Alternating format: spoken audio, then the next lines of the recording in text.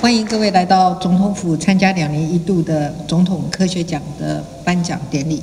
首先，我要向获奖的李远鹏院士、陈元崇院士以及魏福全院士表达最诚挚的祝贺。总统科学奖从二零零一年设立，今年已经是迈入第十届。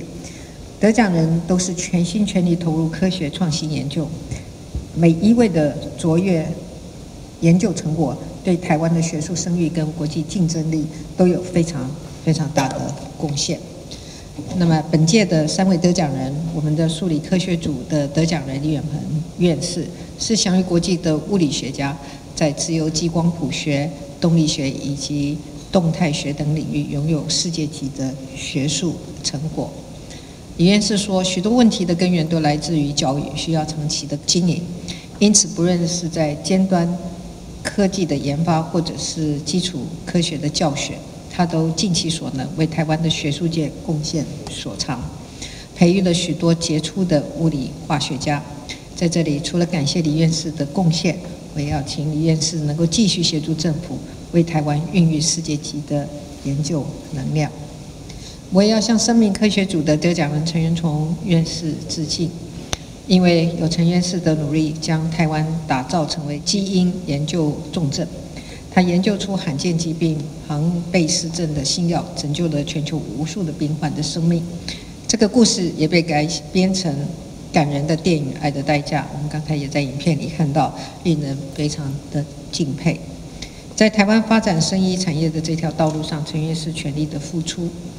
也受过委屈。今天获颁总统科学奖是实至名归。我要特别向陈院士说一声辛苦了，谢谢你对台湾的贡献。